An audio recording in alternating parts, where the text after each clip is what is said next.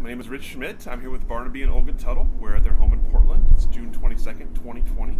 Thank you both so much for joining us today. Thank you. Uh, first question for both of you uh, Why wine? I'll let you answer that. you Uh, started you know, it's, it all. it's funny. I never really thought about it. Um, I, I, so I guess the whole thing. I before I came to wine, I'd worked back at house and restaurants, and I've been a blue collar worker. Um, even though I live in this neighborhood, I've been basically a pretty blue collar guy. Um, I haven't changed. The neighborhood has. Um, and and I was working at Oregon Iron Works, and then um, eventually I wound up working at this place called Wildcat Auto Wrecking. Give a shout out to all my friends up there. It's uh, all vintage Mopar wrecking yard. Super great job, but it came to the point where I wanted to make some more money. So I hustled this job waiting tables at Papa Haydn, which I have a long history with, with those people. And it was my first time in front of the house. And I eventually got the job. And I was working, I think, 13 shifts a week. I was saving up to travel. And I was nudged to take wine classes, and um, wasn't real happy about it. Um, you know, I had this kind of idea that wine was Frasier Crane and all these pretentious rich people curling pinkies and talking about, oh, it smells like strawberries, and I just thought this is crap. Showed up at the class in my 65 Barracuda, and you know, and it was all blind silent tasting, and we had to take notes. We couldn't talk about it, and I was pretty blown away. I was like, wow, we're all writing down the same things without influencing each other. So this is this is an actual real thing. And the next week, they got us blind silent again. They didn't tell us, but it was three Pinot Noirs, same vintage, same winemaker, and they said this is just different blends and vineyard sites, and there's this thing called terroir, and uh, that was it. And became very curious. Started reading all these books. A year later i was the wine buyer at the restaurant. And i've just never been good at like spectating. It's like it's not enough. So i started making wine and tinkering, tinkering around and then planted this thing back here this vin- vineyard. And uh, one thing led to another and here we are and i think it's because we like to make things and wine's cool and it's so fascinating that there's a food that tastes like the place that it's grown and it's a great lifestyle. You know, our lives. It's not like working at a desk. You know, you have harvest, you have bottling season, you have sales, and you know, working in the vineyards. And so you're kind of changing with the seasons, and you never do the same job. And it's every vintage is different. So you kind of can't get bored. What about you, Olga? What, what part do you, what point do you come into the story? Um, right. So Barnaby started making wine in the basement with fruit from this vineyard, and that was fun. And I think I helped you bottle your first vintage. Um, but it wasn't until Barnaby started really seriously considering it, and he got a job at a winery in um, Carlton. Excuse me.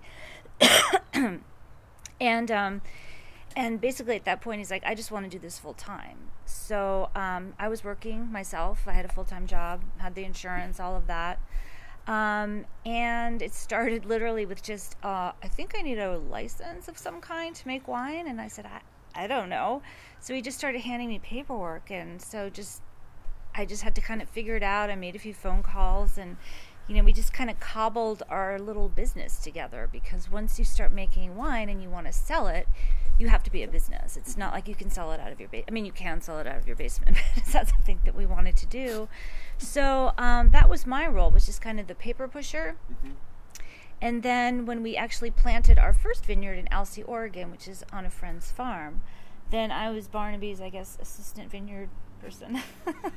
the two of us planted a 2,000 um, plant vineyard. It was about 2,000 plants. Uh, yeah, a little north, but yeah. Yeah.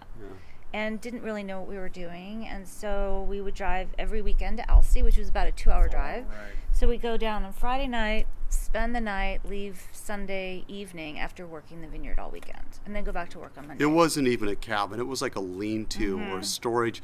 You know, you'd be in your sleeping bag and you hear mice and rats scurrying around. There's bird shit all over inside there. oh my God. Cooking yes. a Coleman stove and listen to you know AM radio. It was actually nice.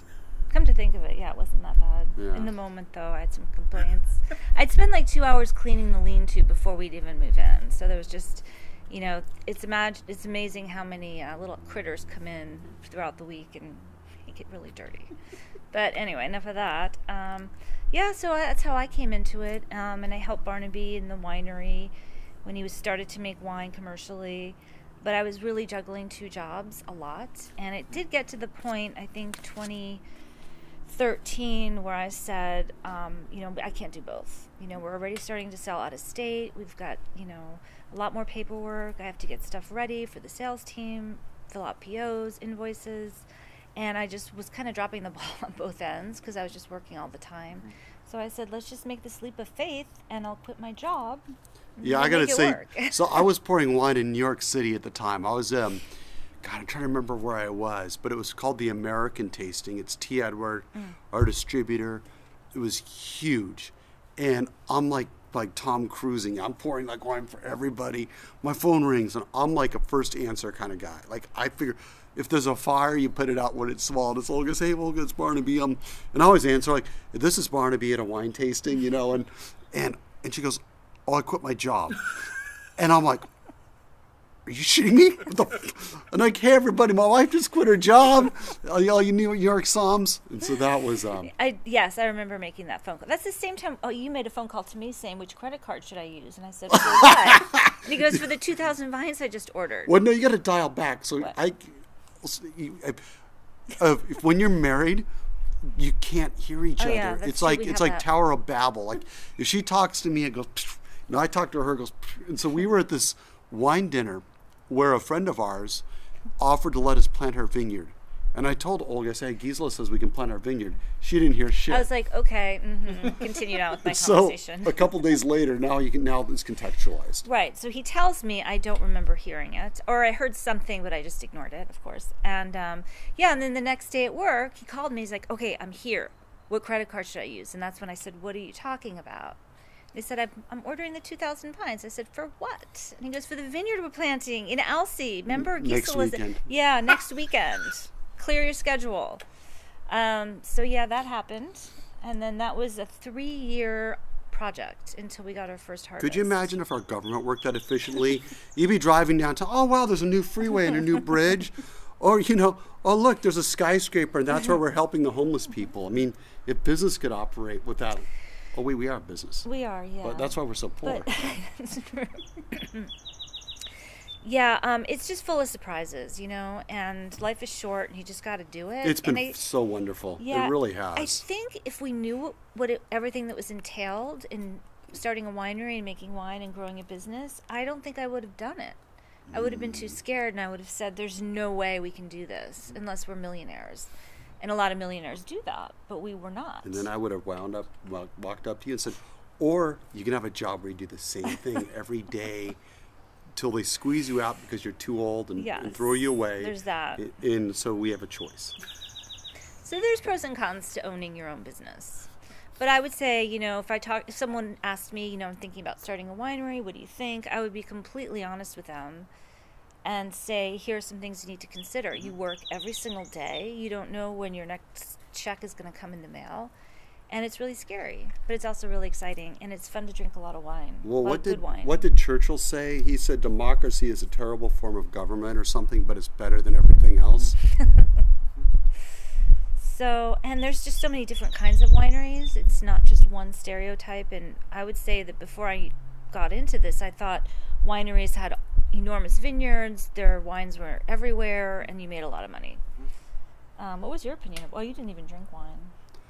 I just wanted to make stuff. I wasn't probably thinking so much about it. Um, but I, I wanted to do something different. I think, you know. I remember on our first date, you said, I'll let you pick out the wine. And I said, Great. How about this Napa Cab? There's nothing wrong with Napa Cabernets, but it's what I selected. And he's like, oh, he looked so disappointed. And I said, What's wrong? And he's like, oh, I was already Well, I'm really getting into like Oregon Pinot Noirs. And I didn't really know what a Pinot Noir was. I thought it was just going to be some kind of light bodied wine that I wouldn't like. So I think I won that time. That was a pretty amazing date. and she was all she was still a vegetarian, and I, I so, totally support it. But like, if you're around me, like I, I just eat a lot of intense It was things. tough. Yeah. I kind of went out the door. Is that when you a, stole a bite of my steak when I went to the bathroom? It's like I can't take it anymore. And then I learned to drink Oregon Pinot Noirs, and they were actually really good. Mm-hmm.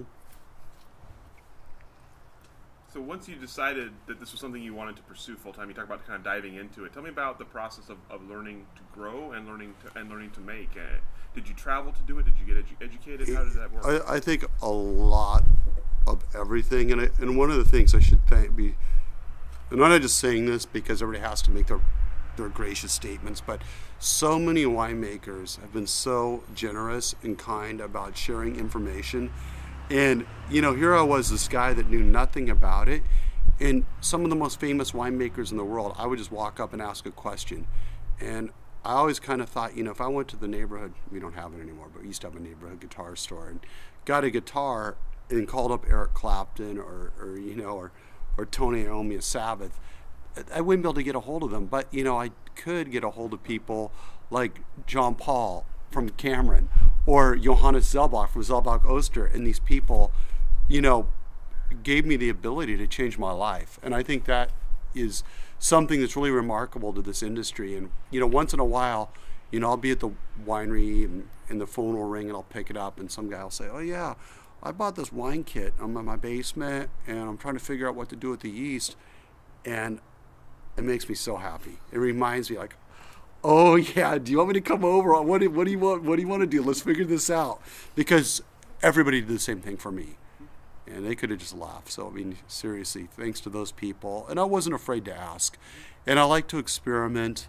Um, and a, a big, I mean, the biggest prop I should give is to this man, Ewald Moseler who is a German. He's from the Mosel Valley. His name is Mosler, which means from the Mosel Valley, and he was a big Riesling importer. Actually, still is. Mm-hmm. And when I became wine buyer at the restaurant, I needed some Riesling, and I called Ewald. I said, "Hey, I need to see some wines," and he he brought in 14 Rieslings, and I bought every one. And that was a night I came home and told Olga, "I'm going to have to learn how to do this. I have to quit."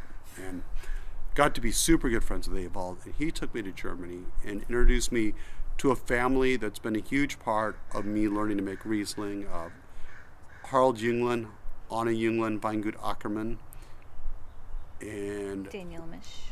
Daniel Imisch, Andreas Resch, and you know, you know, we always say Mosel Mafia. When you go to Selting, and we just know everybody. And so, you know, I was fortunate to have a, an Oregon perspective but also an alternate perspective. And to this day, our production is probably at least two thirds white. And there's a joke. It doesn't matter what grape you give Barnaby if it's white, it winds up tasting a little bit like Riesling. So. Except if you bring Oregon Riesling to Germany and have them taste it, they don't know what it is. yeah, it's weird. Well, they just drink. They don't like. It's us. We're so curious to try all these different wines. It's been part of their culture for two thousand years, and they know Ewald's mom was banned from a wine tasting competition. What? This is true. I didn't know. Yeah. Um, what was her? I'll remember her What name in a minute. because she not only could tell what vineyard it was, she could taste the vintage and what part of the vineyard it was. And they had this re- vineyard reorganization in 71 where they went from having like 100,000 vineyards in Germany, and the government consolidated and went to like 2,000 or something. So they used to have these older named Martha, and she would know, oh yeah, this is a 75, but it's yeah, it's Deutsch Herrenberg, but it's from the old Grosser Mann plot. And um, but the thing is, they've never had Riesling. Most of the villagers that isn't grown in slate. So when you bring Rieslings that are grown in, you know, Jory or Bellpine or even you know further up the valley in Luxembourg, which is only like 60 kilometers, where it's grown in chalk, it doesn't taste like Riesling because they are they associate Riesling with the local terroir. You talk about you talk about going there and, and being being inspired by Riesling. Uh, tell me about the. Did you learn anything in terms of technique there that you brought back? Uh, do you consider yourself like a Germanic Yes. winemaker? Yes. Okay. So what is it? What is it about the? What's So- unique about their technique? I, I think that it's uh, technique and philosophy are sort of intertwined, and my favorite Rieslings in the world are aged Rieslings, and so we'd have all these like late night beer drinking conversations, and we're like, and none of us are scientists, and even as some of these people you know, are technically Winzers, like they went to wine school. We weren't certain about what we thought was old vines, dry farmed, good vineyard sites, fresh acidity, some residual sugar, um, uh, wood fermented, and wild yeast. And so I'm like, okay, like I'm just gonna steal their engineering. I'm like, right, well, okay, that's how I'm gonna make all my whites. It's a super minimal handling, you know. I am definitely, you know, I consider myself part of the natural movement, but I'm not like a rent a cop. I'm not going to tell other people what to do. I think that there's way too much divisiveness right now. Um, the wine's good, it's good, but um, we try and buy fruit from older vineyards. All all Teutonic wines are dry farmed, and I'm not telling people what to do. If you make great wine with irrigated fruit, I'll buy your wine gladly and drink it. But this is what I do. Um, and then we just press it off. We're very gentle. We press it off gently. We settle it. We go to barrel clean. I do what's called pied de where I build a yeast starter individually from each vineyard because I feel biology is part of terroir. So we build these yeast starters, and I'll you know have like maybe 16 buckets in the house because I have to have a starter for all 16 vineyards. Um, and and the nice thing about that too is a lot of times with wild fermentation, you get a lot of volatility or ethyl acetate.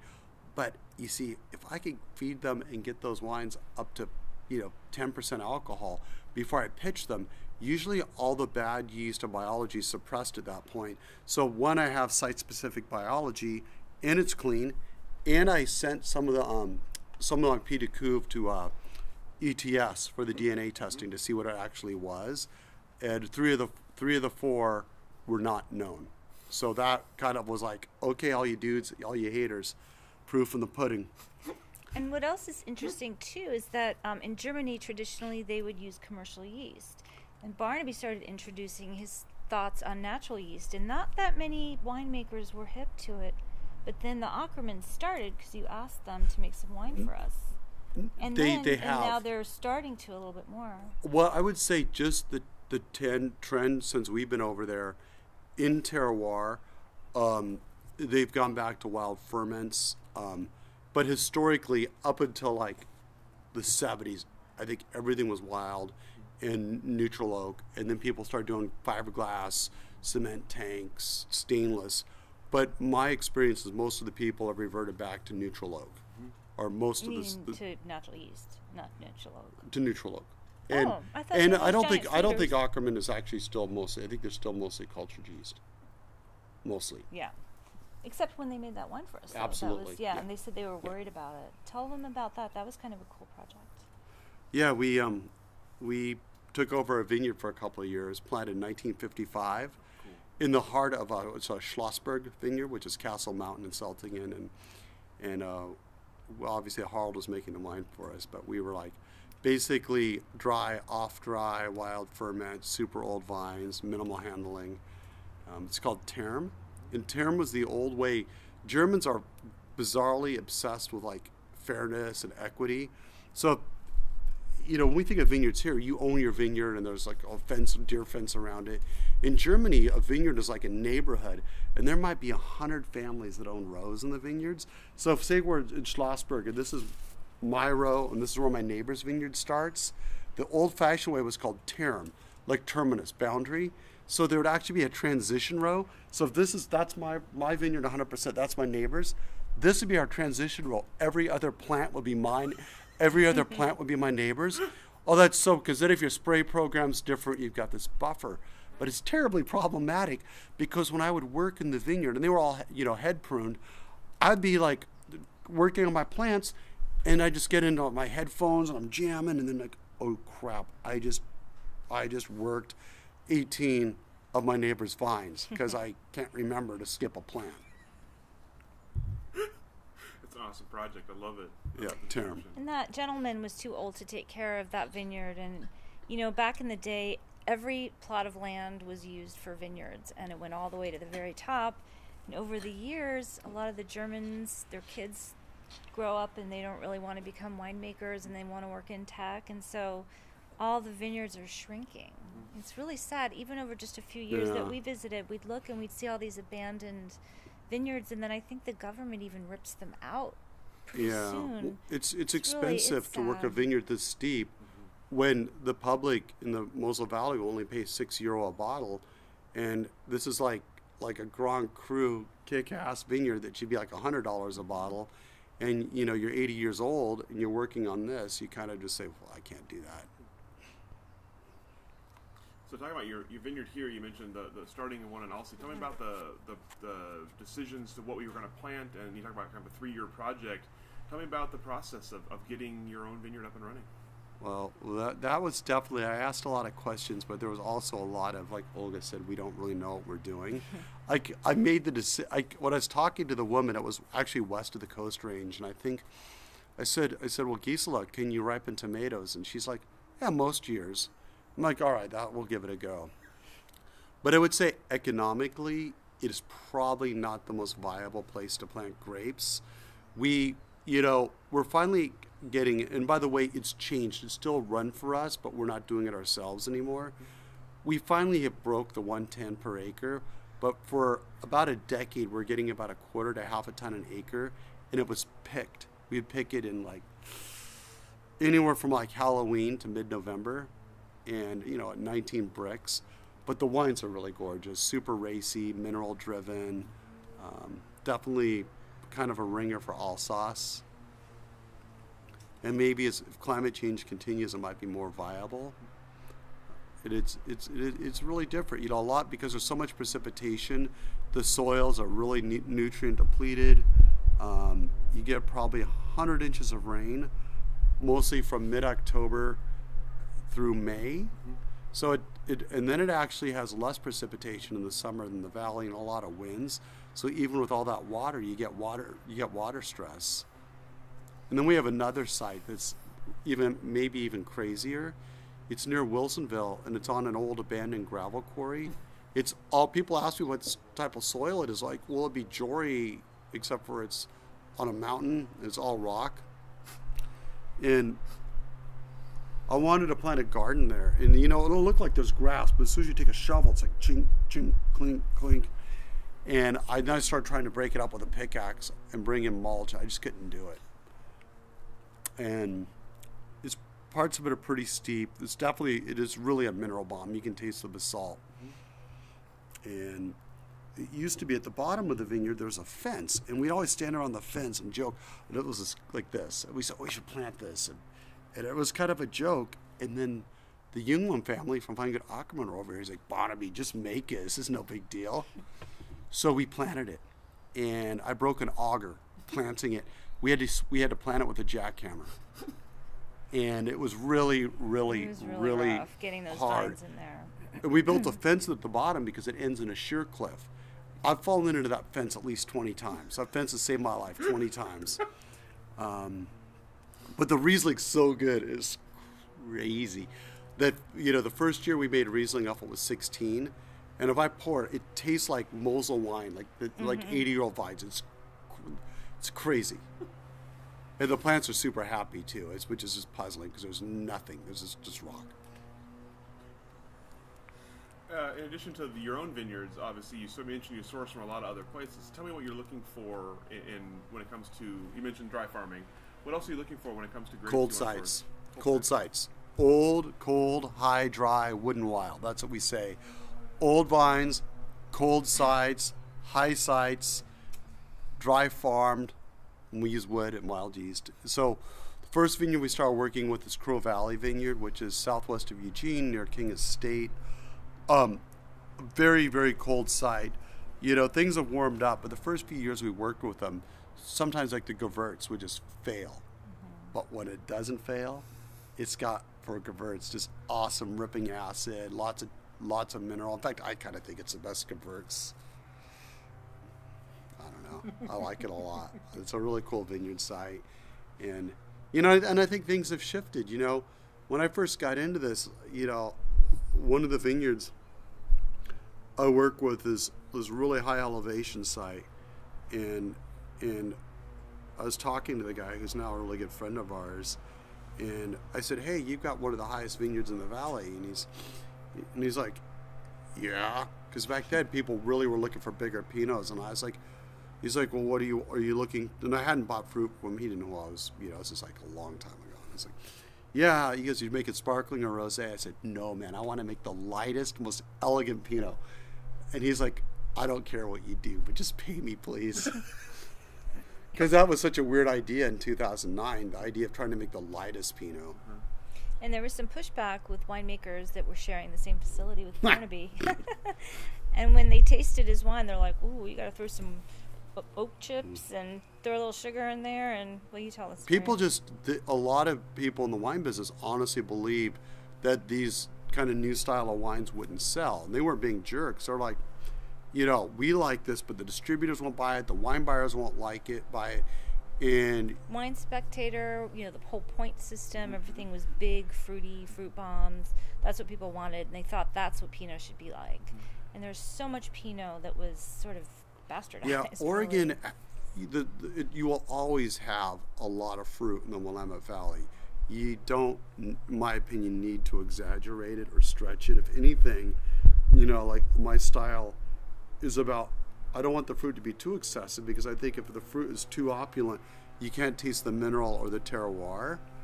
But the world has changed. I mean, there's definitely, we love the big wines too. There's, but the thing is, the diversity, the spectrum has really opened up, and I think that uh-huh.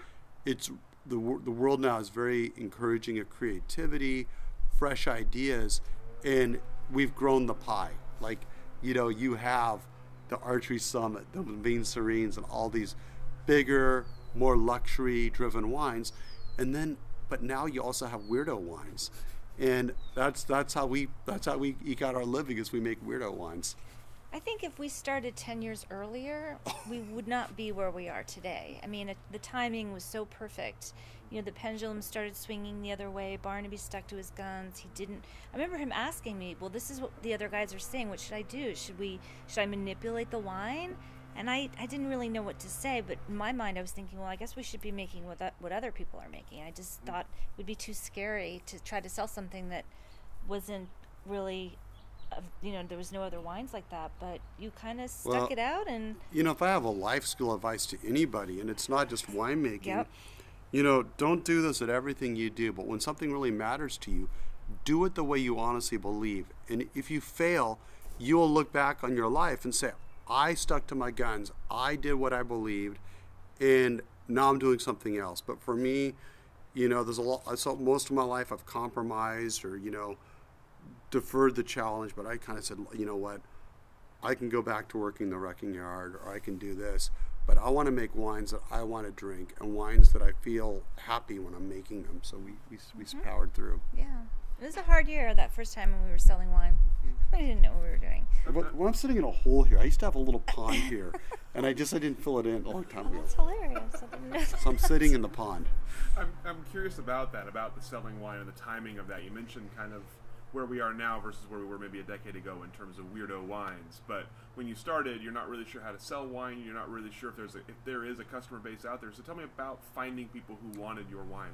So can I take this? I'm gonna, 'cause Sure, I'm gonna let yeah. you finish. So, so we were terrified, and we kind of thought we might fail, but we had gone through. We had this product, and we were really, really intimidated to sell it, and we were so uncertain.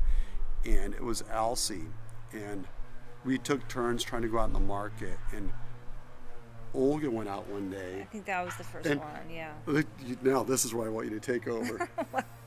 Um, so I took a day off because I was working full time. So I like would schedule holiday, you know, vacation days and go out and sell wine on those days. And I did go to the, a wine shop. I don't want to mention who it is. They're a very well known wine shop and they sell great wine. But I just didn't really know what to do or what to say. And Barnaby's like, "Well, you just pour the wine and let them taste it." And you know, and I poured the wine, and the guy took the glass and he put it aside and he goes, "Thank you." Have a nice day. And I thought, okay, I guess bye. Um, I don't even think we had business cards at that point. So I got in the car and I called Barnaby. He's like, how'd it go? I'm like, I don't know. He's like, what do you mean you don't know? What did he say when he tasted the wine? I said, he didn't. He said, oh, okay, well, why did he not taste the wine? I said, I don't know. It was the guy just wasn't tasting wine anymore. I didn't know that, and there was someone else that tasted it later. But it was just this weird thing. We didn't know who these people are. They're like, who are you? You know, what is this wine about? And it was just kind of a mess. You know, I mean, I just felt so vulnerable because I, I had no experience doing this. I really didn't know much about the wine industry, the protocol, the verbiage. But later that day, Oh, The right. vindication. Yes, thank you. Oh, the good part. That's Yeah. right. So there was a new restaurant opening up in Portland, in downtown Portland, and it was an Alpine cuisine, Alpine focused cuisine. It was called Gruner at the time. it was a big deal. It was Chris Israel's new spot. Yep. and It was going to be hot. And we were fantasizing, we, we could get into that place. Got- our wines are perfect, and it was a Pinot Meunier. Um, so I poured the Pinot Noir and Pinot Meunier for this gentleman who didn't taste the wine. And apparently, uh, the woman who does taste the wine, she was really impressed. And she called her friend Dana Frank, who now owns Bar Norman. And Dana said, I need to try, try this wine. And so she handed, told Dana how to get in touch with us. And so later that day, we got an email from her saying, We'd love to taste your wines. We're opening up Gruner. So it was just like, oh, how did that happen? Yeah, and suddenly like like they bought cases, and the It was a wine shop bought glass, cases, yeah. and suddenly like we were out of product, and I can tell you, it's like thinking you have cancer and finding out you don't. Like when we realized that people wanted to drink these wines, we're like, oh wow, this is gonna might work. it was it was good. It was good. We were selling wine. It wasn't quite that. I mean, we had to struggle too. I mean, it wasn't. We like struggled, but the wines everything. sold. The wines, We I only mean, made five barrels, so it right. they sold. They did sell. Yeah. And people came back for more. Yes. Yes. I think the Gruner thing was really a great experience for us, and um, yeah, you know, it's so it's so long ago. It's hard for me to remember the remember. details. What about when you started hearing from customers directly? What, what was the response to wines that maybe they never had before, or styles they never had before? Huh.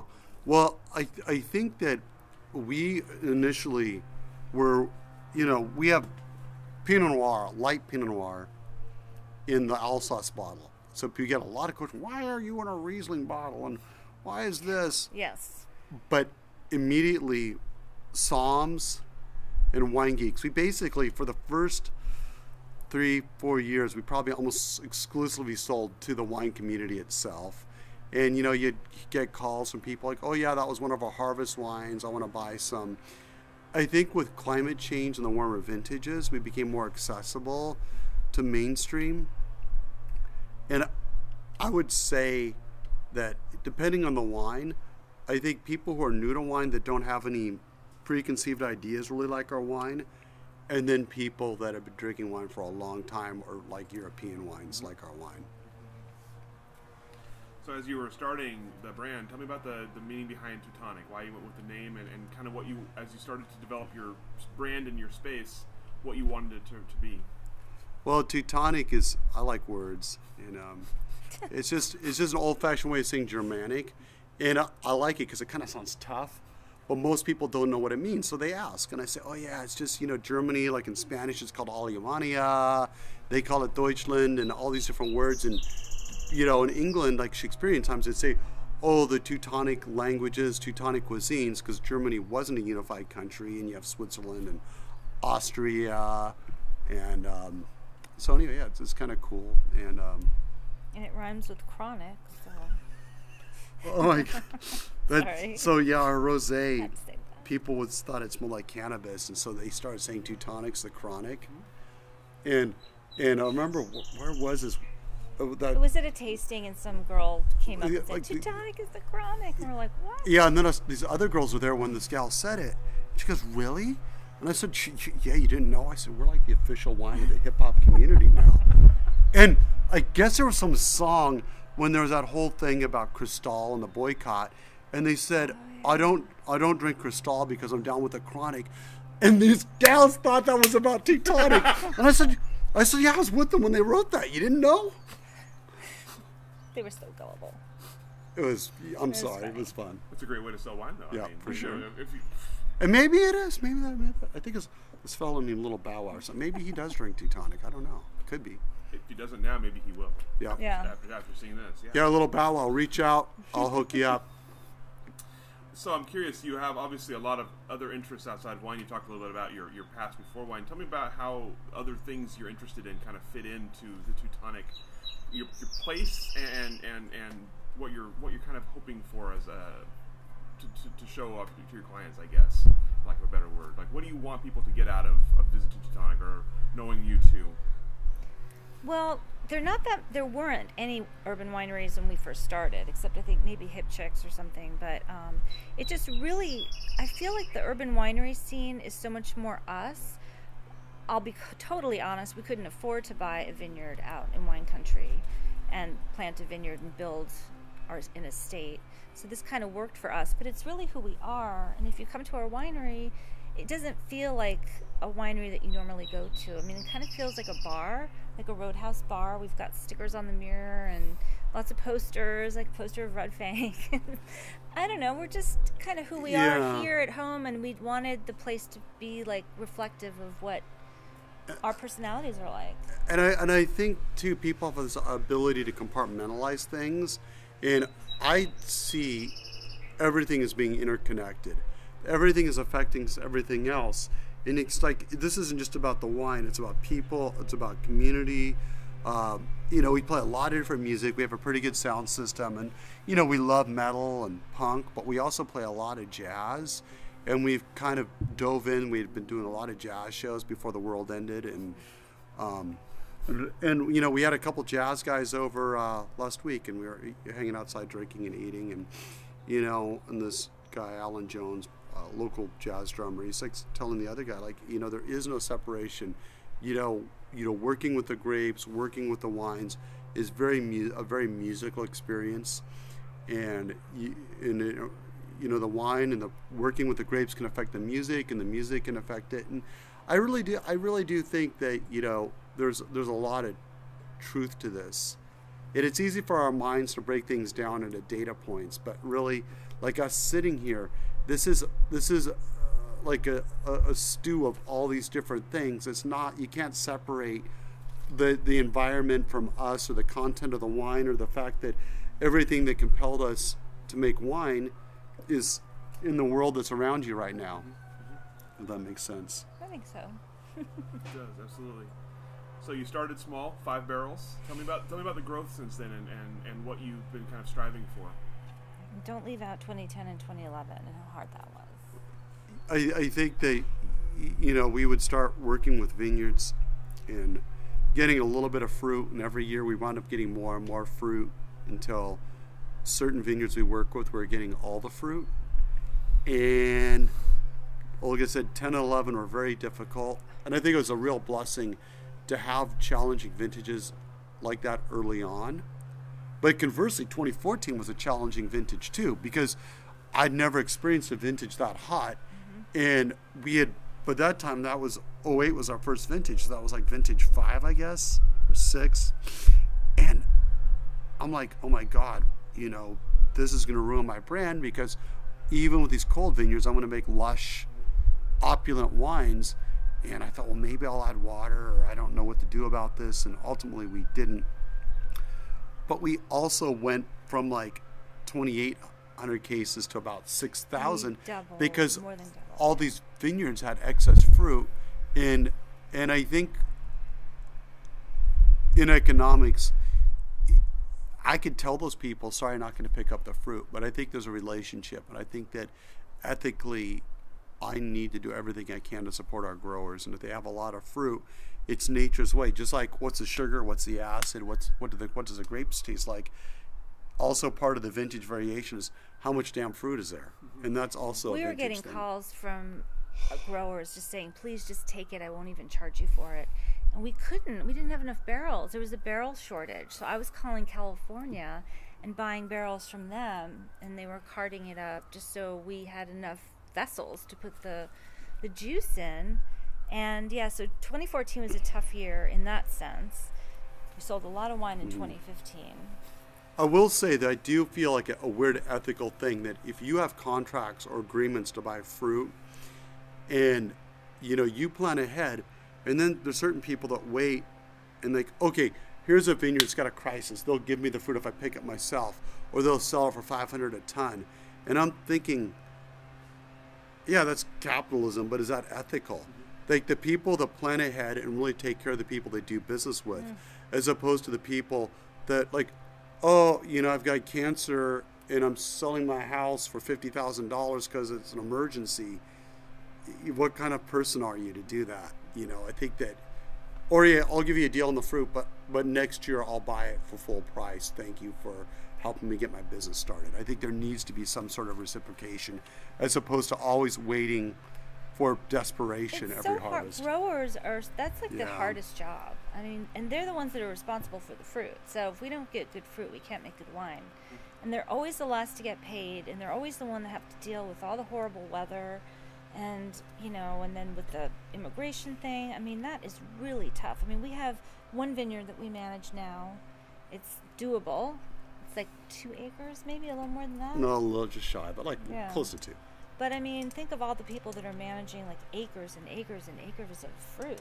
hmm It's tough. It's backbreaking work, and if the fruit's bad and you don't have a contract, the winemakers can turn it away, right? I mean, that we got fruit one year from a vineyard because it, the Brix weren't high enough and they didn't want to make wine with it, so we bought it. Yeah. That was just sort of a one-off, but you know that's what Barnaby was saying is that we have relationships with vineyards and we buy everything that we say we're going to buy. So if the if they're they produce a short amount, that We oh still pay $2,000 We still pay the same, fruit. and if they produce too much, we still pay the same per ton. And it's So- never, it's never been an issue. And I think that, you know, everything resolves itself. If this is what nature gave, this is how people made wine for thousands of years. And I understand if you have a brand where you make a lot of bottles or people buy it ahead of time and they have a certain expectation, with our vineyards, us Pinot, some years it'll be Pinot, some years it'll be white, some years it'll be sparkling, some years it'll be rosé, and people expect that from us. So we kind of like, okay, this is what we get. You know, what are we going to make with what we get? And I, I also like that challenge. I'm curious about developing that kind, that kind of skill set to, to where you can challenge yourself each year to come up with the best solution. So, what point do you start feeling? Did you start feeling the confidence to take whatever fruit you were given and make an interesting product out of it? Well, probably that confidence probably just came from blind stupidity. You know, you just do things. Well, Um, 2011 was your first sparkling. Oh no, it wasn't. No. It was the Riesling. Yeah, well, in I think 2011, this Pinot Noir at the Wallstrom site, which is actually one of our warmer sites, it's where all the the rock, the the Pinot, the Brix just. I thought, you know, if I either I could chaptalize it or I'll make sparkling. So that was um, a rosé brut that we made. We did a barrel fermented, then three year tirage, and it was pretty delicious. And then 12 it was red wine. 13 there was a lot of yellow jacket damage for whatever reason. So because the skins were torn up, I thought I could use a lot of sulfite or I could just make I was hoping to make a white wine, but it kind of picked up a little color. And um, it was delicious. So um, I mean, honestly, I, I think I have like a good kind of mechanical, some sort of good uh, intuition. Um, you know, weird left brain, right brain thing. You know, I grew up gardening with my grandparents since I was a little kid, and I just love growing things and tinkering and you know, building old like both those cars in my driveway were kind of you know started as garbage, and here we are, and it's it's just an intuition thing. So obviously you're you're kind of known for pu- pushing some of the boundaries of winemaking and grape growing. Uh, tell me about what sets you guys apart. You talked a little bit about it already, but what sets you apart, and what you hope customers will get out of a bottle of your wine. What do you? What is the reaction you're going for? What is the? What is the? What, what keeps people coming back? Well, I think we we don't want customers to feel too intimidated by wine in general. So if they come in, sometimes they'll say, you know, I really don't know anything about wine, almost apologetically, and we're like, great, you don't have to know anything about wine. Just if you like it, tell us, and we'll find the right wines for you. And um, we just are really like we drop all that language, you know, the whole wine talk, wine speak. We make people feel comfortable. And we've converted, I would say, a lot of people into Yeah. drinking Riesling. Because that's the first thing that, oh, I don't drink Riesling.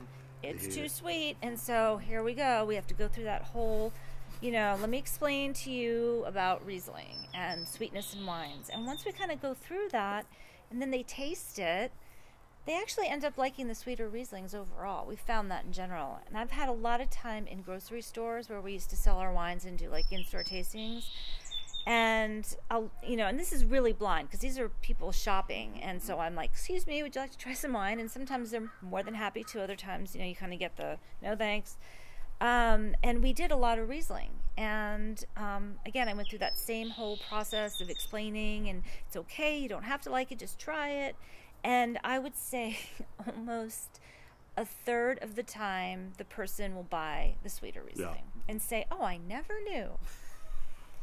Um, so we want people to just feel comfortable, enjoy our wines, and to come back and keep buying it. You know, Yeah. join our wine club. And also to what Olga's saying, I don't like the knowledge fetish. I mean, yes, if you care about wine, you want to learn these things.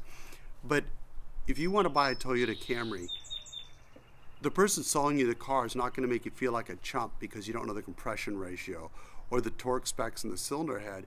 They want you to drive that car. They're going to act like your best friend, and hopefully you like the way it drives. And I, I think that it's true about wine. And I tell people, like, look at me. I'm a regular. I'm a knucklehead. I drive muscle cars, listen to bizarre music, mm-hmm. and I'm nobody. I'm just a guy that does this. I enjoy it. Don't be intimidated. You know, anybody that treats you like crap because you don't know these words, give them the finger and come see me, and I'll be really nice to you.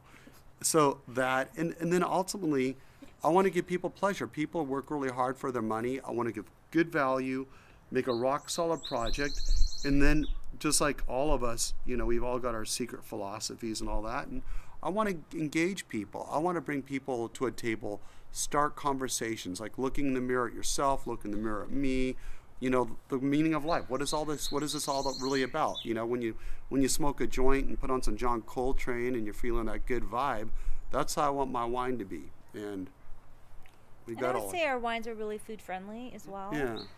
The higher acid breaks through a lot of the fat and spice. So, um, you know, folks always ask, what should I pair this wine with? So we kind of throw out, you know, spicy Asian food goes great with our Gewürztraminer and Rieslings. Butcher block wines is one of our hashtags. Um, so any kind of charcuterie, I think, goes really nicely with our off-dry wines. And our red wines Yeah. are not super full-bodied, so you can drink our red wines when you eat salmon. I almost, uh, well, to Olga said butcher block wines. I really feel our white wines actually pair better with wild game and charcuterie and fatty foods than our red in some ways. Mm-hmm. You know, a little RS and rip and acidity is just a really good fat scrubber, you know. And and is another thing too is I kind of like the natural wine movement. I, I feel that we're sort of the scientific wing. That just because we don't do a lot doesn't mean that I reject the fact that science is what makes this happen. Mm-hmm. But it's just like the smell of a flower that you can't recreate in a laboratory is not magic. It's just science that we haven't mastered yet. And you know, keep thinking, keep questioning. Don't reject science. Keep Vaccinate things- your kids. Wear masks. clean. Science is real. You're a clean winemaker. Yeah, That's sanitation. too. Yeah. So a specific example I want to ask about your your candied mushroom Riesling. Tell me about that. How, how, how did we get to a candied mushroom Riesling and and, uh, and Why is it called a candy? I mean, why is it called that? honestly, you know, um, this fruit came in, Riesling from Crow Valley, always comes in very late, and it looked like little gerbils or guinea pigs. It was furry with fungus. And I will admit, at that time, you know, like, I, you know, I, I, like I don't want to sound like a, a druggie or anything, because I'm not. I haven't, I haven't smoked pot at all since COVID, because I'm taking care of my lungs. I don't eat because I think that's terrifying. Um, but I've been smoking lots of weed, and I was listening to a lot of the most far out jazz, trying to take my mind to like a place. You know, it's like the '60s, and you're trying to like learn. I was probably because I'm too chicken shit to do acid, so I'm smoking a lot of weed and listening to crazy jazz, and just trying to like have a fresh perspective on things. And this Riesling comes in, and there's like a bunch of bins, and it is like it's hairy, and so and I was thinking about David Chang at Momofuku making his own sort of designer MSG by re-fermenting mushrooms, fungus on fungus. And I thought, hmm, I wonder if I can make umami or MSG out of Riesling. And got in the bin, started jumping around. The spores looked like dry ice. There were clouds coming down the parking lot. And I matched it all up, gave it four days with the fungus and the fruit and the skins macerating, pressed it, um, settled it, went to barrel, inoculated with a Pied de Cuve. So fungus one was the botrytis. Fungus two was the wild yeast, and how many different types of wild yeast we don't know. Typically, I don't do batonnage, but I really wanted to extract as much of those fungal enzymes, and so I was doing a lot of batonnage. And then the Wahlstrom Pinot always gets a little bit of film yeast, so I took film yeast from Wahlstrom and inoculated it because I wanted to have just as many fungal enzymes. And if you have any hookups, I would love to get a bottle of that labbed and see what kind of fungal enzymes and what's going on in it. But when we bottled it, the most shocking thing is I expected it to taste like a, a basement. It's actually super clean and it's just it's basically dry and it's so complex and that salty finish that's not salt that's natural msg and i should also say all this fear of msg i don't know do y'all know the story about msg it's not true. The government when they're putting the japanese people in internment camps wanted to create fear and mistrust so they wanted people to be afraid of asian restaurants. There is no scientific. MSG is in so many foods. Parmesan cheese. If you slow roast meats or vegetables, you're making MSG yourself. All fermentation, so all wines, just the process of fermentation itself, makes a certain amount of MSG. And while we're on the subject, and by the way, that candy mushroom is my favorite wine I've mm-hmm. ever made. I love having a crazy idea like this, and the results exceed my expectation. But one of the other things I like to talk about, and sometimes you just talk about things. I think I know what you're going to Because people need to be engaged, and sometimes to, you know, when people hear wine talk all the time, you know, it just becomes background music, becomes wallpaper. So, you know, I'll be in Oklahoma talking to a bunch of 80 year olds, and I'll say, Hey, how many of y'all smoke weed? And of course, they're like, look at me like I'm from Mars. And I said, Well, guess what? You know, in that Riesling you're drinking, there's a lot of terpenes, and where I come from, it's legal, and we have labs that analyze the terpene content and the you know the aromatic qualities. And I thought, well, I keep telling people this. I'm going to find out. So I took a couple bottles. I took a Muscat and my Riesling to the lab that tests for terpenes, and the guy's like, "Dude, we don't test wine here. Think I don't even know what to do." And I said, "Trust me, there's terpenes in this." A week later, I get this call. He sounds like he's having an asthma attack. Dude, dude, dude, dude, dude, dude. I test the results. It's like the same profile as lemon sour diesel. What this guy? But terpenes are in so many things. Terpenes are in citrus. Many, many foods we eat have terpenes. There's nothing psychoactive about it. But I do suspect my intuition that we're going to find in the future that there's like micronutrients. I bet a lot of these terpenes have you know slight incremental like an, antioxidant or anti-cancer or therapeutic properties. I don't know, but yeah, that was cool. What I thought you were going to bring up, and I think this oh, is a good please about sulfites and how people go crazy oh, thinking yeah. that sulfites are so bad, mm-hmm. and you know they start marketing this is sulfite free, which is not true, and there's sulfites in so many things that people eat, and yet they won't buy a bottle of wine thinking there's too many sulfites in there. I mean, an apricot, dried apricot, has more sulfites. And sulfites preserve the wine. And it makes it taste Take better. It I, I'm a huge advocate. I'm not an advocate of heavy handed sulfite, but there are wine writers, no names mentioned, that'll only mm. write reviews on low sulfite wines. And they say, oh, because I can taste. Except for these wine writers ask me what my sulfite levels are before they review my wines because they don't want to destroy their own ideology. We're relatively low for what we do, but I've had wines that we one wine is Riesling we do, which is a little bit of a project. It's called 1908, and it's the old way of making wine in the Mosel before, you know, the 19 teens. That they didn't have the filtration or the technology to make like Kabinetts. Mm-hmm with RS because they would just go off on bottle. You know, wines like the Ausleses or Beerenauslese, there's enough sugar to actually prevent fermentation, further fermentation. So all the Kabinetts back, you know, before the 1920s were dry. But because it was a much cooler climate and they cropped heavier, it would take sometimes years for these wines to be approachable. So they'd make them like Chablis. They'd be in barrel. They'd be they go through ML if they could get it to go through ML and do batonnage sometimes. And so I wanted to recreate this. I wanted to know how it tasted. So we did this wine called 1908, and it was in barrel for about two years.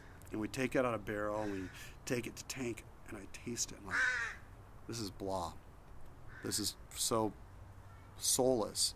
And then once again, my intuition kicked in, kicked it at the 15 parts per million free, and it was electric. It was vibrant. The fruit was back. And a lot of times, I think without sulfite, wines can taste muddled and dull. And And turn brown. yes, don't use too much, but use enough. Of- And it dissipates over time. So if you want an aged wine, you need to have sulfites to preserve it. And do people realize, you know, when you're drinking wine that's produced in another country, this wine has to get put on a truck to go to a container, goes over the ocean to another container, to another container, to another container, to another van that drives them the bottles finally to the wine shop. I mean, it needs to be or protected. you go to your natural food store and you buy some granola with dried apricots. There's more sulfite in one bowl of that granola than there is in a case of heavy-handed wine. It's just not. It's not science. It's not science. And you know, and I think the natural wine movement is such a good thing. But I think there's a psychological reason that it's a reaction against science. And as soon as you know you know, we reject science and it becomes a witch hunt and this is that. There's markets I go to now where if the wine isn't muddy and it doesn't smell like a horse blanket, it's not good. Now, which Kurt Vonnegut novel is is it where the wine, if it tastes good, it's not good because you can't make wine that tastes good naturally? So, you, you know, yes, and, and, and I have another hashtag, natty, not nasty. So many of my friends are making wine with wild yeast and are very clean winemakers, and people don't know it. But the movement has passed them by because it's become so extreme. People forget that you know that these are natural wines, and they don't taste like shit. You know, I'm sorry I said it. You know, I'm not saying whose wines I'm saying that, but there's so many. The vast majority of my friends right now are making natural, holistic wines, yet nobody realizes it mm-hmm. because they taste. They don't taste like VA, reduction, or Brett. we were invited to a natural wine fest and they and they said but you have to make sure that you have x amount or less of sulfites in your wine and i asked barnaby i'm like what are the sulfites in our wine and i think you gave me a number that was higher so i just said i'm really sorry i guess we can't attend do you remember yeah, that Yeah, I do. And that well, was, do you remember what the parts per million were I think that it was like impossibly low. It was like five parts or something. So I'm curious how, as you've grown and as you have made a name for yourself, how uh, the the customer cho- cha- uh, questions have changed. Uh, you, uh, have more customers come in demanding or asking for things that you aren't doing like that. I mean, are they are they coming in asking for sulfite-free wine? Are they coming in asking for, uh, or are they coming in and kind of into your world accepting the wines that you're making? Uh, how, how have they changed in the decade? I think it, that we get less because I think people that come to us now have heard about us. They know what we are, and they come to us expecting us. I think in the early days when we used to do a lot of supermarket tastings, I'd be like, I mean, the most common thing is, "What's the biggest red you got?" yeah That's the biggest thing, more than anything else. What's the biggest red you got? Any? Uh, yeah, I, I guess that's kind of the one thing. Or I like dry wine. Or- so, in our wine, we don't make a lot of super super dry wines, but we have a few. So I'll start there, and then again, they'll try the off dry wines, and they'll like them better. Yeah. or like, um, or do do they want our Pinot Meunier? We never have Oh, it. yeah, it's always it's sold running. out. We've got to figure out how to get more. We should. We need to find some more. Well, not us. Somebody Also, else. we have a wine this year that we're gonna be releasing pretty soon that has these grapes from my front and backyard, which is strange because it's Chardonnay, Syrah. There's a couple Pinot and a couple um, Pinot Noir and a couple Pinot Meunier plants, and my friend Alan Jones has some yard Pinot Noir from uh, West Slope, and then we put dumped it all together. This whole cluster Pinot we did, and it's um, it's pretty. good. It's And the thing is, I'll tell you what it is. It's probably like one tenth of one percent that Syrah, which is super underripe, which gave it this really kind of pyrazine green grassy thing that just cuts through perfectly. It's like a little spice on the steak. It's like awesome. That'll be available probably in a couple months. yeah, yeah. And bottle it. Do you, uh, at this point, do you feel any kind of like pressure to keep kind of pushing the envelope to blow people's minds each time, each year, or is it just kind of It like comes naturally to him. well, I just think things happen. Like you don't think about it, and things come out of the, the you know, like last year I got some Viognier. How does Viognier have anything to do with being Teutonic? Um, we got this Viognier, and I was like, oh man, I want to do this because I, I kind of did a little bit of Viognier some years ago with my buddy Jesse and from uh, Fausse Piste and Tom Monroe. We did a it's called Tripod Project where we make wines all separately and dump it together and sell it. Um, but so I got this Viognier. I was like, oh, how the dickens is this Teutonic? And then it occurred to me that um, in Switzerland they grow Viognier. So I'm like, okay, they're boom, it's Teutonic. And then I had these um, amphora, and I said, okay, I'm going to do an, am- amphora, and it's going to be, and then I thought, well, it'll be Roman, Celtic, Swiss. It's like, and my, well, I'm super been into like linguistics and history, so I found that like the Romans called Switzerland Helvetia. So he came out with this Helveti that has like this pagan priest with a sheep on the front, and and so you know, just things happen, and you find ways. I feel like Nigel Tufnel in Spinal Tap, where he's like kicking the guitar and dragging the violin across the other. It's like I find my expressive freedom in my solos. It, it's all ridiculous. It's all absurd. turn the barrels up to eleven and just, and just go from Oh, there? we had we a had wine, a wine called Eleven. Okay. and we we had a Spinal Tap reference wines, uh, foiled cucumber. We had eleven, recorded in doubly in Jazz Odyssey, and the bass player from Spinal Tap, Harry Shearer, has drank the Jazz Odyssey with another mutual friend, and we were going to have Harry Shearer. We, we rebranded, and we were going to have Harry Shearer draw the new labels on a mat napkin. And at the last minute, he said, I, I, I'm- "I'm sorry, I can't do it. It's for some complicated reason." But it would have been having a Spinal Tap drawn label cool. would have been the best.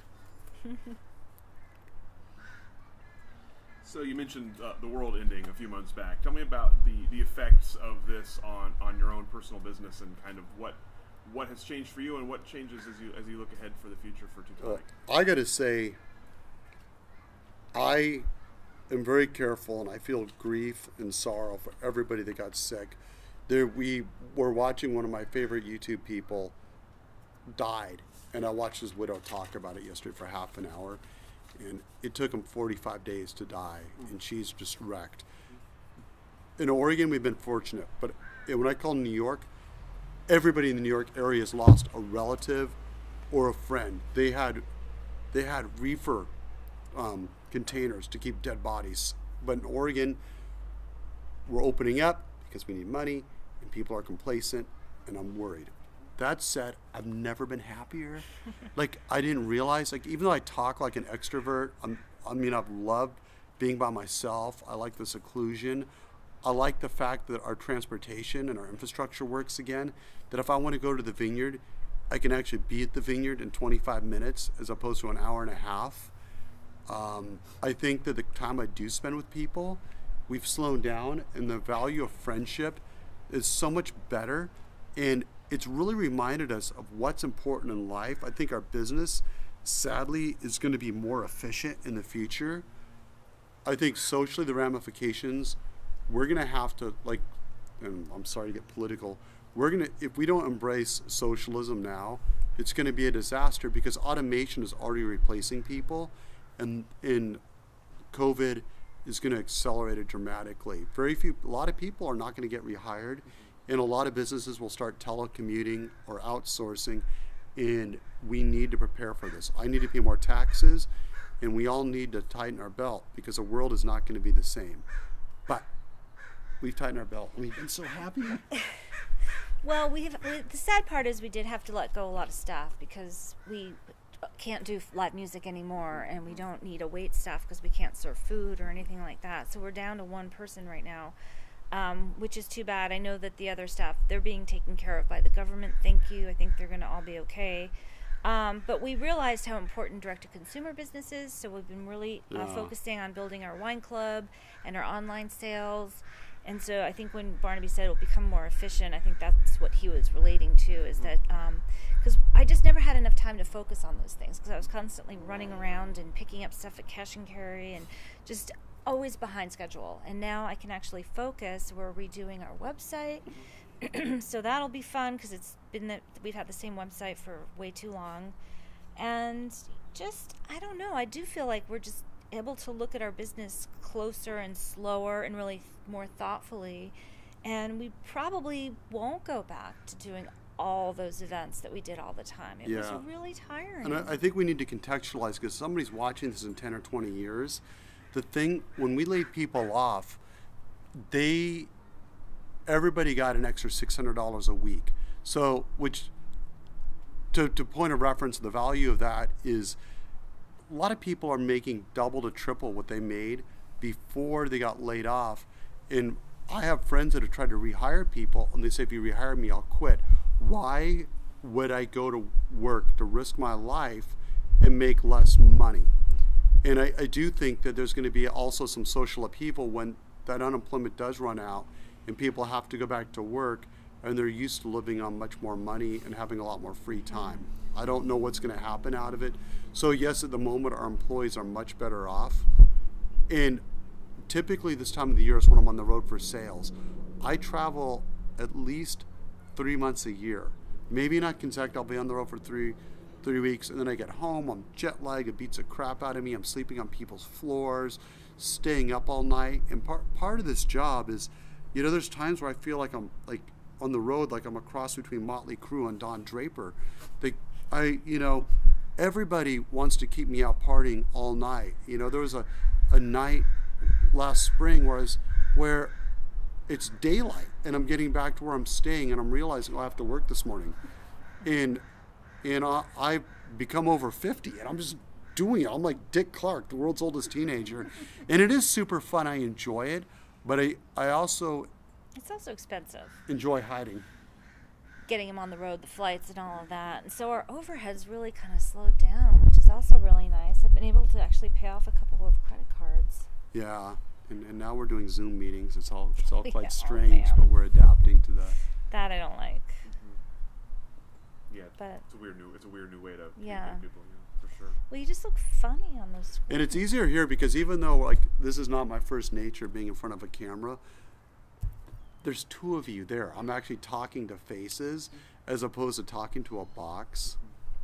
and then seeing yourself in the corner Absolutely. All right, tell me about um, as you became kind of part of the Oregon wine industry, especially the you mentioned kind of early on you you're one of the first urban wineries. Uh, urban winery movement obviously has blown up since. Tell me about what it looked like, what Oregon wine looked like when you joined it, and what has sort of changed between now and, and between then and now. Well, I think when we started, and this is like I'm speaking in big, swiping, broad strokes. And also, we weren't the first urban winery. Right. There was Hip Chicks Do Wine. When we started, everybody assumed we were urban because we lived in the city and our vibe.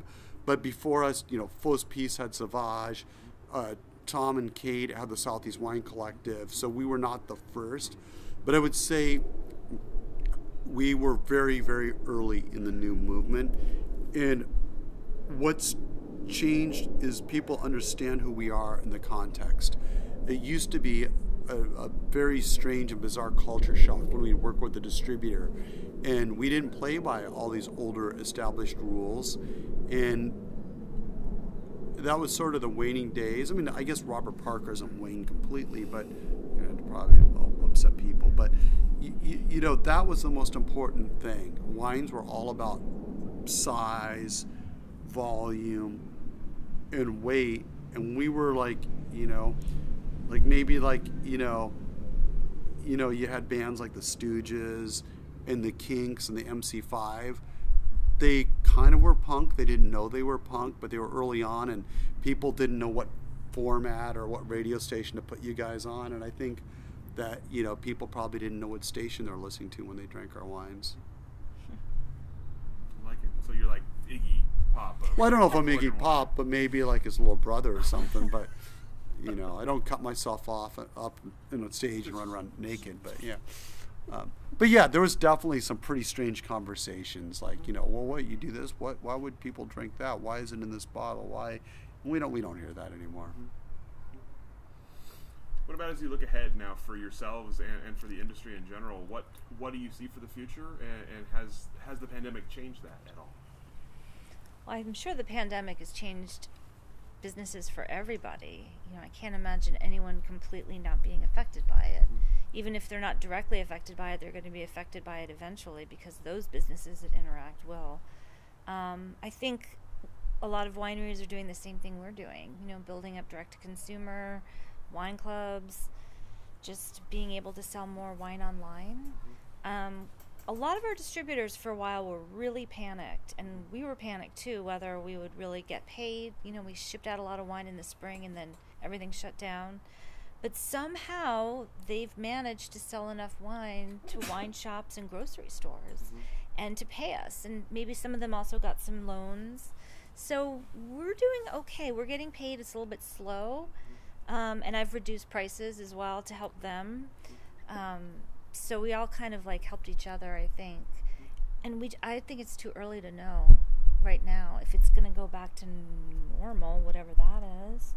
I mean, we they're sort of reopening, but will they have to close again? Mm-hmm. I don't know. We're not going to reopen until we're really sure that we don't have to close again. Mm-hmm. Yeah, and and also, you know, I like I say is, you know, the idea is do does the economy exist for the people or do the people exist for the economy? And I'm maybe you know trying to make European wines, and I also think I have European values of humanity, and I think that business and capitalism exist for people. And I think if I open early and I found out one person's in a body bag mm-hmm. because I opened so I could pay some bills, I would feel dreadful. It's, it's not necessary. So we're going to wait like at least a month to make sure that the numbers aren't going up and that we're not going to hurt people for the convenience of selling more wine. And you know, I've seen restaurants that are now open they- with sidewalk seating, and the tables are so far apart, and the wait staff's wearing a mask, and it just doesn't really look appealing. dining in a hospital. me. But you know what? People are still, you know, you, your masks are off when you're eating. right? and and you know, and I'm sure like like if people are watching, say, I know like, what? didn't you guys know that if you eat oranges that cured it? People like, you guys are you guys had this all wrong. I mean, don't you know like bacon fat? You know, we don't. I mean, sure that you know we're so early that in ten years they're going to figure some. You know, the Oh, next there'll be a vaccine of some kind, but um, yeah, Yeah, But right now, it's really scary, and it takes so long to develop. Someone could have it for weeks. Someone may never have any symptoms. Now we're reading about young people get coming up positive, but not showing signs, so they can be like running around and spreading it to their family members, and I don't know. It's really a scary thing. On the wine side of things, is there anything you're looking forward to trying or doing? A new variety you want to work with, or a new new challenge? Yeah, lots lots of stuff. Uh,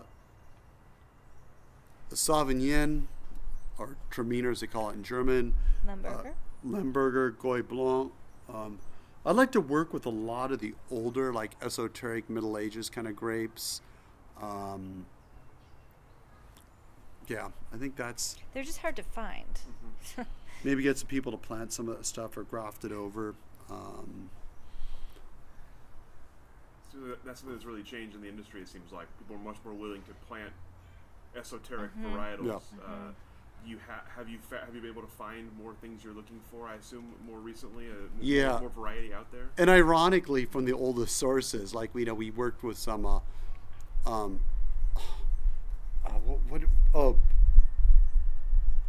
uh, Savagnin Rose, or what is it called? Tr- Um, Oh, Tro- Traminer, but it's Roter Traminer. Roter Traminer, Yeah. which we could we had to call it Traminer because the TTB doesn't even believe that grape's real, and there's like a few rows of it, and it was, oh, and and so we're trying to find out like everything we could about it, and I have a, a friend that's at Geisenheim in Germany, and he went up to the wine historian and he found a couple documents, and one of the documents from like the 1680s, the church decreed that women couldn't drink that grape because it made them lose their mind, which made me like, oh my god, I've got to make so much of this.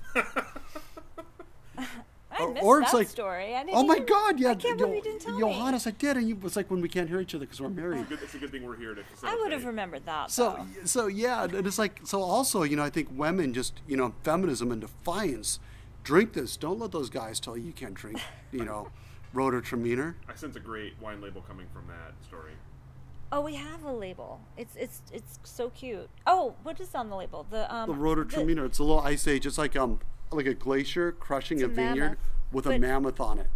oh, because back- it's called Little Ice Age. Back, yeah, is part of the mountains. It's really so cool. Little Ice Age was a period from like I think the 12th through the 17th century where um, glaciers actually did impede on vineyards in Europe. It was terrible. Actually, it created great famine, and it was a real sort of thing. And I'm I'm into history and these kinds of things. And if I can get trick people into thinking about history when they drink my wines, um, I, I feel like I we did try to put the story on the back label. It has to be really condensed, but we want people to know why we're doing what we're doing. But also the future, I think diversification. I think there's going to be the way you just grow the pie. There's going to be more varieties out there, more styles, more freedom of expression, more creativity. I don't think that the growth is going to come from. You know, you can read why Business Monthly this is the future is this. Yeah, it probably is. But I think the future is going to be everything and people working harder, making it better. I think the price point for better or worse, for the most part, it's going to be competitive. If we, if our wines get above glass point, glass pour price point, they slow to a stop. So we always had to find a way to keep our wines glass pourable. Maybe not in Portland, but at least in San Francisco, New York, and LA. Yeah, I see the price of wine kind of going down in general. I think the 90 to 150 dollar bottles are going to be pretty tough to sell. I mean, there'll always be collectors, and there'll always be people, rich bus- millionaire Right. businessmen that will want to add some kind of whatever to their, uh, you know, cellar. But I think in general, the sweet spots between like probably 15 to 25. And I'd say most of our wines are around that, um, a little higher than 15, but around 20. Yeah, 20, 25, and then our reds are about 30, 33. which is like the le- least we can sell it for. Not And we don't make $33 on each bottle. I just want to make that clear. Well, most of our wine we sell off FOB, so then you know it goes out in distribution. So, yeah, if we could sell that DT direct to consumer at that price, we'd be the house would be already painted, and, and you wouldn't have fell through my deck. I was hoping that wouldn't end up on the final version of this, but that's okay. That's my fault for having a crappy deck. and we don't want to make more wine. We just want to sell more wine with a higher profit margin. More So direct to consumer. Exactly, yeah. You talked about being in markets outside of outside of the area, outside of the state. Uh, I'm curious about breaking into those kind of markets. You, you, those are some those are some obviously tough places to get into. San Francisco, New York, high demand for for uh, for wines there. So how did you find your way into those kind of markets? That's a really good question. It's kind of different depending on the state. Mm-hmm. Sometimes it's a friend that hooks us up and says, you know, I'm going to talk to my buddy. He's the distributor in Massachusetts, and you know, we'll send them some samples, mm-hmm. and they try it, and they're like, "You want to join our catalog? Great." Mm-hmm. Other times we'll reach out. Sometimes we'll just get an email. It's kind of been Yeah. a bunch of different Well, ways. Johannes Selbach told Matthew Plumpton, our, our California Oh, yeah. guy, about us, and he said there's this weird guy in Oregon doing German style. You should check it out. Um, I don't know how we got into Washington. That was our first distributor was Cavatappi. It was through Stephanie. Oh, DNR Yeah. wines. Yeah. Okay. And and but mostly I think it's just been It's weird kind word of a mouth. story. Yeah. it's usually word of mouth. Um, we're in about 30. I always forget exactly how many states we're in. I mean, there's some states that don't buy very much. I mean, I've got a couple states where maybe I'll send them like 10 cases of wine for the whole year. And then there's others where I'm like sending out constantly, sending out wine. And you, you never know. Like some years, And it can change. Minneapolis, just the city of Minneapolis, will buy more wine than California. It's just, it's very He strange. just loves us. And um, if So the we- wine buyer changes and they leave, then sometimes they're not as interested in you anymore. It's you know you just have to kind of stay on top of it, I think, and keep a relationship going. And we ask for depletion reports, and if they're not doing very well, we'll talk to them and say, you know, we'll send Barnaby out. Sometimes I've gone out. Um, you know, if you will buy enough wine, we'll come out and visit and do ride-alongs and tastings, and That was like our Barnaby best will entertain you. social media. It's like Olga's pouring in one place, us pouring in another. Said Olga and Barnaby are splitting up, and, Oh yeah.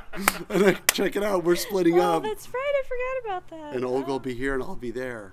But someone took it seriously, though, right? But who? What? I can't remember. It's like it was if you yeah, if you could read past the first sentence, you would have known. Yeah, yeah. I'm curious actually about that, about um, being married and, and having a business together, and the, the, the how have you made it work? It was tolerate bullshit a little bit. I mean, we, we all, you know, I'm sure do things that like you know are challenging to the other, but you know, you just Sometimes we don't hear each other. Apparently, that We don't hear to each other. It's like it's a true thing. Um, I, I'd say overall, though, it's been a good thing um, because I don't even know what it would be we like to trust have a each business. other. Yeah. And yeah. and I think that like our experience in this, we've evolved together, we've grown together, we started together, so we have a similar perspective, but different skill sets. Mm-hmm. And you know, I like to tinker, so I can fix a forklift, and Olga does all the computerizing things, and and. and It's called marketing and sales and reports. but it all comes out of a computer, though. You're also yeah, you sound- sound like my mom. she does something with the computer. Um, but we also kind of get what our company's like. So if Barnaby can't meet with someone, I can meet with them, and they might get a little bit of a different experience. But we both have a very good understanding of who we are and what we do. Mm-hmm. Mm-hmm. So that's really helpful, and neither one of us is going to bail. At least I don't think. so we don't have to worry about that happening, and we don't have investors that want their ROI and when are we going to get our big return on investment. So it does, it works, you know. And then when you're on the road, we don't see each other sometimes for a really long period of time. Now we're in COVID times, so we're together a lot. So weird. you know, it felt so anxious at first, and now it's just like normal. You know, like you see your buddy, you put your mask on, and you know, I think humanity is a very flexible and very adaptable thing, and we think we can't imagine like how could people live in these circumstances, and now we it's like second nature, and I think you know, wearing this is showing other people respect. It's not that I'm afraid of you, it's that I'm being gracious and I'm showing you that I value your health. And um, yeah, it'll. It's just such a weird Yeah. time. It, hope it never happens again. Yeah, and it's like you said earlier, it's, it's tough to know what it's going to look like after, but it's hard to imagine it being the same. Mm-hmm. But here's a. When's the last time you've had a friend that's had the flu or the cold? People don't get sick. If you, don't get COVID, you're not going to get sick. Mm-hmm. Nobody is getting colds or flus anymore. People answer their phones more. I noticed that. Yeah. Yeah, Yeah. you kind of, kind of have a lot of uh, captive audiences out there. now, yeah. All right, well, one, one last question for you. We're going to get a little philosophical because this feels like a good question for you too. So, what is wine's role in society? I think its role is to make people happy. It's all about enjoyment. And something that people look forward to at the end of the day or for the weekend, special occasions. Sometimes it can just be a picnic wine, but it just adds something special to what you're doing or what you're eating or when you're spending time with friends. It loosens you up a little bit. It's never boring because you can buy a different kind of wine anytime. Yeah, it's what you make it too. I think it's if you listen to music, some people put music on as wallpaper, and those are people. That, I think that's like drinking to get drunk, and other people put on the heaviest stuff they can. So it's just it's art. It's what do you want it to be? Where do you want to go? And it's ultimately whoever's drinking gets to decide, and that's one of the cool things about making a product that becomes whatever anybody wants. And I would recommend folks to try wines that you haven't had. You know, don't just drink the same wine every time. If you're used to drinking a, you know, a Cabernet Sauvignon, you know, experiment a little bit and see what else is out there. There are a lot of great wines, and don't be don't fear the Riesling. it's a great wine. It would be our desert island wine, as a matter of fact. Yeah, for sure. Yeah. Excellent. Well, thank you so much. All the questions I have. Is there anything I didn't ask that I should have? Anything we didn't cover that we should have covered? I think we got a Mm. lot. Yeah, and of course, you know, you, as soon as Yeah. you leave, I'll think Then of we'll be something. like, I "Ah." course. can't believe I didn't the, say na- that. the nature of this thing. Yeah. That- that's okay. Well, thank you both so much for joining us today Thanks. for Absolutely, thank you. hospitality here in your urban vineyard, which is a first for me. This is amazing, uh, and we'll go ahead and let you guys off the hook. If you need